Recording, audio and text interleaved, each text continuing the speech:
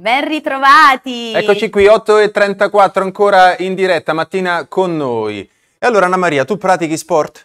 Tantissimo, no non è vero, ne, ne pratico pochissimo, eh, l'ho sempre detto, vengo da una famiglia di pallavolisti, ho un marito, ho un marito, un marito non riesco sì. a parlare stamattina, che è allenatore di pallavolo, quindi io non so giocare sei cresciuta con lo sport?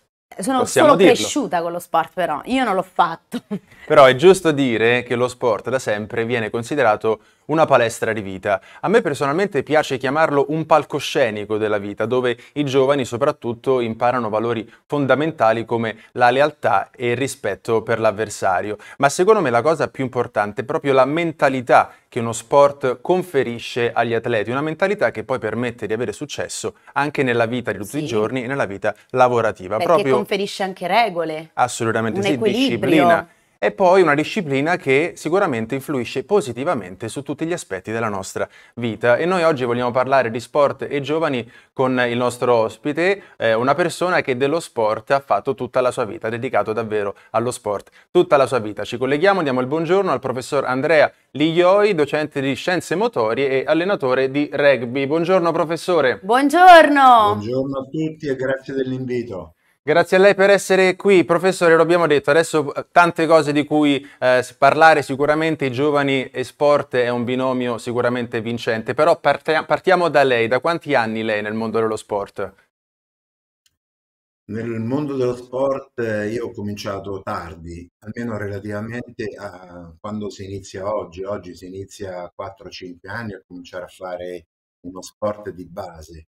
Eh, io ho cominciato a 17 anni, eh, ma parliamo degli anni, io sono nato negli anni 50, fine anni 50, per cui una volta si, si faceva sport eh, naturalmente nel, nelle strade, nelle ville, eh, si superavano muretti, staccionate, si, si, saliva sugli alberi. Oggi tutto questo è un po' decaduto anche perché è molto pericoloso eh, giocare in questo modo nelle strade. Per cui non c'era la necessità, che oggi invece hanno le famiglie, di iscrivere i propri ragazzi in strutture eh, istituzionalizzate e quindi avviare i piccoli allo sport. Adesso ci arriviamo. Quindi il mio ingresso nello sport è stato appunto eh, a 17 anni in uno sport al, all'epoca molto poco conosciuto, il rugby. Oggi il rugby va è uno sport che va per la maggiore, nonostante la nazionale eh, maggiore non, ha, non, abbia grossi risultati, almeno ultimamente nel torneo delle sei nazioni. Abbiamo preso schiaffi a destra e a sinistra e ci siamo risollevati solamente eh, nell'ultimo torneo delle sei nazioni vincendo in Galles. Professore, sì, per... ma quando è che il rugby è, ha iniziato a, a funzionare, diciamo così, anche in Italia? 10-15 anni fa? Diciamo che eh, il rugby ha avuto il suo boom eh, dopo un grosso lavoro eh, fatto dalla Federazione Italiana eh, che ha mh, cercato di ehm, essere accolta nell'ambito del torneo delle cinque nazioni, allora eh, formato dalla Francia e delle, dalle quattro britanniche, per, perché poi il torneo delle cinque nazioni diventasse Six Nations eh, l'attuale appunto torneo che si fa tra febbraio e marzo. Eh, e quindi diciamo dal 2000 l'Italia è entrata in questo torneo che tra tutti i tornei di tutti gli sport il più antico, solo che eh, non abbiamo una grossa tradizione almeno rispetto alle altre nazioni, per cui abbiamo ancora difficoltà. Ma questa difficoltà non viene tanto dal non essere a livello delle altre nazioni, quanto da una mancanza di sport di base che è eh, diffusa non tanto solamente nel, nel rugby, ma in tutti gli sport. Sport di base che dovrebbe essere eh, svolto nella scuola e in questo noi siamo molto deficitari, almeno rispetto alle altre nazioni. Lei però, lei stessa, ha giocato nella nazionale di rugby negli anni 70, quindi si è davvero avvicinato al mondo dello sport eh, da giovane. Che ricordi ha di quel, di quel periodo? Sì, come ho detto io ho iniziato tardi, però eh, in qualche modo ho bruciato le tappe perché iniziando a 17 anni poi ho fatto eh, subito parte di una selezione regionale, da lì eh, il salto nella nazionale juniores, quindi a 18 anni, e poi l'anno successivo il mio esordio in Polonia con la nazionale maggiore. Eh, parliamo del 77 e parliamo di anni, se vogliamo, pionieristici, pionieristici rispetto al rugby di oggi. Eh, una volta il rugby era veramente considerato uno sport di nicchia. Oggi, eh, grazie ai media, è molto sviluppato, ehm, ci sono ehm, cronache eh, sportive che ehm, implicano il rugby, ci sono le partite, eh, soprattutto su Sky, adesso anche sulla RAI, eh, per cui eh, c'è molto seguito da parte del pubblico ed è uno sport considerato da tanti genitori come uno sport educativo. E da giocatore poi lei ha deciso di diventare allenatore. Cosa, cosa l'ha Sì. spinta a prendere questa decisione, a cambiare rotta e quindi insegnare quello che lei sapeva? Ma diciamo che ecco, la mia professione è inseg- insegnare, eh, io sono insegnante nella scuola, al liceo scientifico Man- Manfredi Azzarita di Roma Sì. e eh, quindi insegnare a scuola così come insegnare su un campo da, rugby o in, in qualsiasi altro ambito, per me è stato un, un, un passaggio abbastanza naturale. E quindi eh, l'instaurare un rapporto con, con i ragazzi, dai bambini più piccoli agli adulti, io ho allenato squadre a tutti i livelli, è stato qualcosa che, che mi ha portato appunto a, a relazionarmi con, con, questi ragazzi in maniera eh, costruttiva, in maniera immediata ed è qualcosa che io faccio molto volentieri anche oggi, pur essendo abbastanza grande. E certo, lei è chiamata il maestro nel club dove insegna, eh, la conoscono tutti con questo, con questo soprannome. Come nasce questo soprannome, il maestro? Sì, appunto, diciamo che ecco, grazie alla mia esperienza ho sempre, eh, sono stato sempre considerato dagli altri, abbastanza giovani, come eh, appunto l'esperto del, della, della, situazione, quindi eh, capace anche di trasmettere qualche cosa non solo ai ragazzi ma anche agli altri allenatori. Per cui da, da questo, questo soprannome, diciamo. Come dice lei, professore, ha deciso di passare al, all'insegnamento, a, ad allenare le squadre di rugby dai piccoli ai, ai, più grandi, immagino fino alle scuole superiori, ai, agli adolescenti. C'è un uh, rapporto che, che, lega l'allenatore al, all'atleta, è un rapporto che va oltre lo sport e, mm, e, e diventa proprio un, uh, un, un cicerone per la vita. È successo a lei di avere qualche atleta che le è rimasto nel cuore, eh, che ha aiutato anche oltre, oltre lo sport? Dunque, io sì, ci, potrei citare tantissimi episodi, però un anno che io ricorderò sempre è l'anno in cui ho allenato bambini di 5 anni, ehm, bambini che chiaramente iniziarono a suo tempo ad affacciarsi, affacciarsi al mondo dello sport appunto attraverso il rugby e a loro ho dedicato un libro eh, Crescere con il rugby, diciamo la mia prima opera letteraria, eh, dove racconto un anno, di, un anno di sport, quindi come si avvicinano questi bambini a questo sport, eh, le sensazioni, le emozioni che vivono sul campo, eh, il loro primo allenamento, loro prima, il loro primo impegno domenicale, la prima trasferta. Mi ricordo di quella trasferta a Parma, eh, bambini che non avevano mai fatto la doccia da soli se non con l'aiuto dei genitori, per cui eh, quella volta eh, mi ero ripromesso che eh, i genitori non sarebbero entrati negli spogliatoi, ma io insieme all'altro accompagnatore li avremmo eh, accuditi perché la facessero. E di questi bambini io ne ritrovo oggi ancora, ehm, li ritrovo nel, nella scuola in cui insegno. e quei bambini del 2004 che all'epoca avevano eh, 4-5 anni, oggi sono in procinto di, di fare la maturità, sono al quinto anno del liceo. Eh sì, perché oh. qui non si tratta solo di allenare, eh, si va al di là, si tratta anche di educare e responsabilizzare dei bambini molto molto piccoli di 5 anni a quello che poi sarà la vita e quindi diventare sicuramente più, più responsabili, più, più autonomi. autonomi. Quindi professore davvero complimenti perché io credo che ecco, il suo ruolo non si fermi lì ad allenare e a insegnare, ma c'è molto di più dietro. Parliamo di allenatori che credono davvero in quello che fanno. Poi lei chiaramente anche un educatore, visto che insegna nelle scuole, quindi avrà questa forma mentis che la porta proprio a voler andare al di là del semplice allenamento. Mi corregga se sbaglio o se ho detto bene. No, assolutamente, però una grossa mano agli insegnanti, agli educatori la devono dare le famiglie, perché è molto importante che la filosofia dell'essere responsabili, autonomi, parta appunto dalle famiglie, eh, quindi fa, facendo sì che favoriscano eh, le attività motorie del bambino. Prima si parlava di, di gioco in strada, oggi è difficile eh, vedere, eh, come ho detto, bambini che, gioca, che, giochino liberamente in strada. Però il, il genitore deve cercare di favorire il, l'indole del bambino, quindi il volersi muovere, l'esigenza di scoprire attraverso le attività motorie.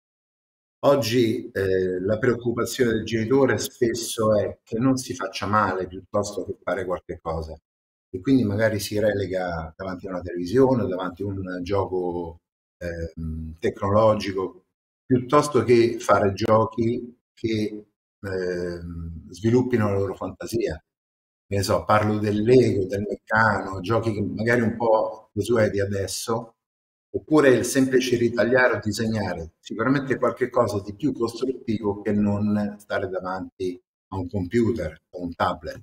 E ne parliamo tanto di questo eh, anche sì, perché professore, eh, ormai sappiamo benissimo che le nuove generazioni sono generazioni tecnologiche, nascono con il cellulare in mano, lo sanno usare più di noi sicuramente.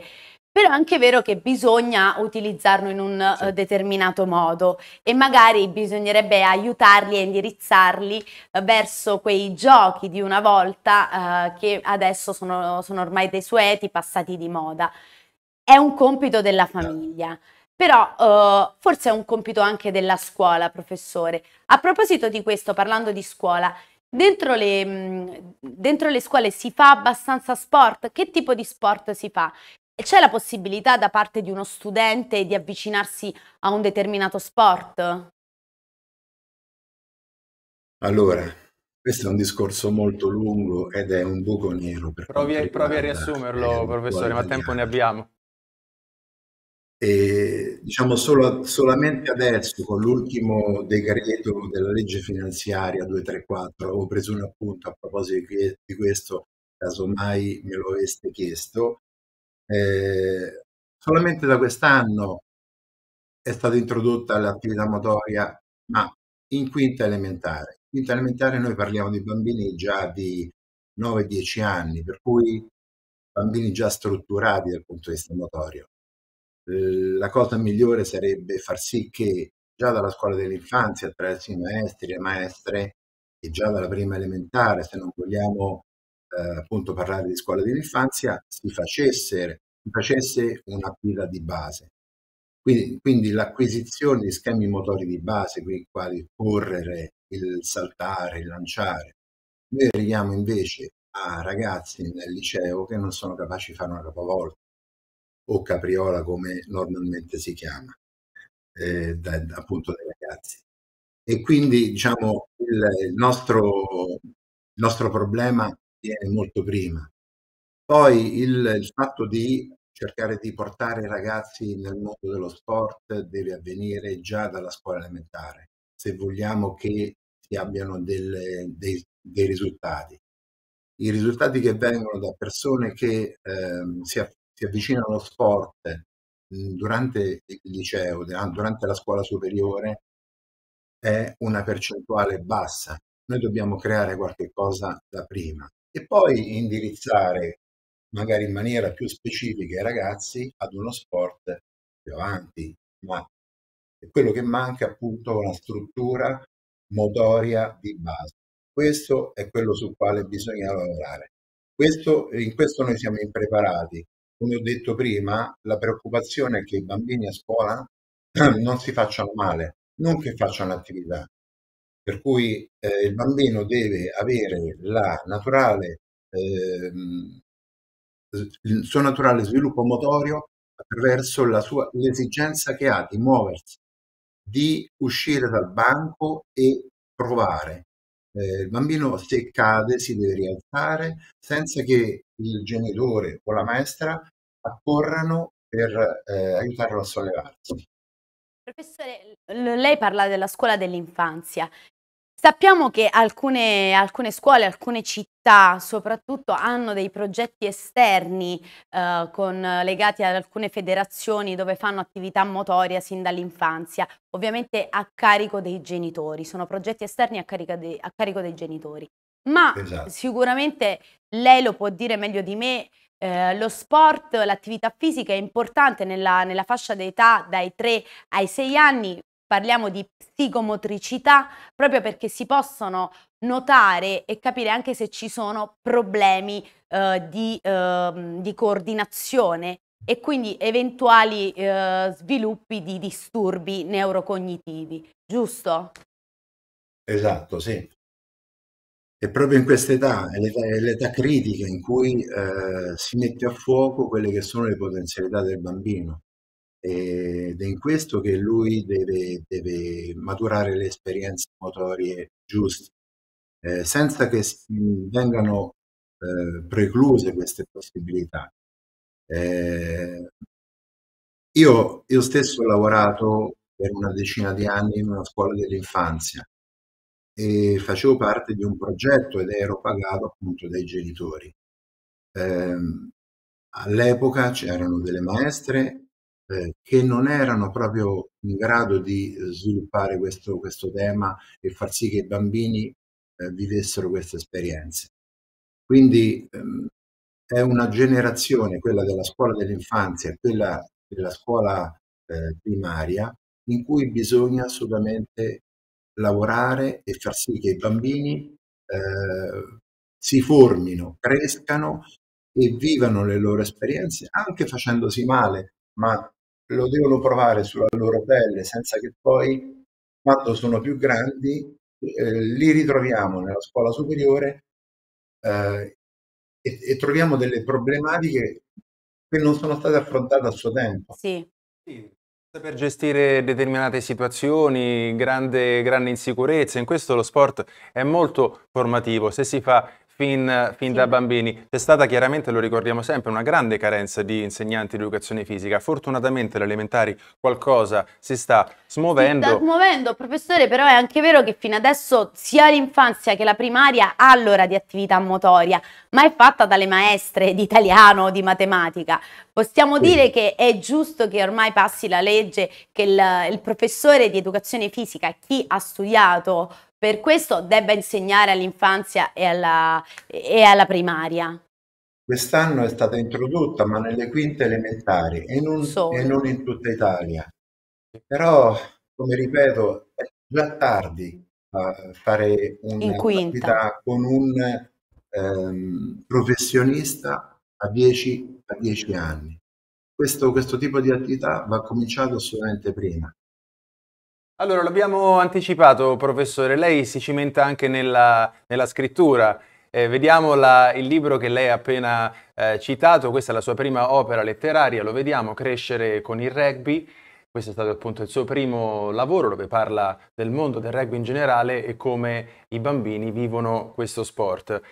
C'è un altro eh, suo libro che eh, è addirittura di uscita, ecco lo vediamo, e questo titolo credo si ricollega a quello che lei ha detto finora, la paura di, eh, farsi, male. di farsi male e di cadere. è così che nasce questo titolo, attento che cadi, professore. Sì, esatto, è attento che cadi un'espressione retorica, così come non sporcarti, non correre, è la paura del genitore che viene non sudare, non sudare.